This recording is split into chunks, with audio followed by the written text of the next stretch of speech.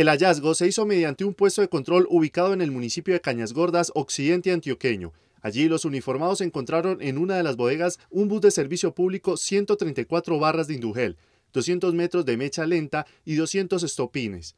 Un hombre de 60 años, quien era la persona responsable del cargamento, fue detenido por la policía.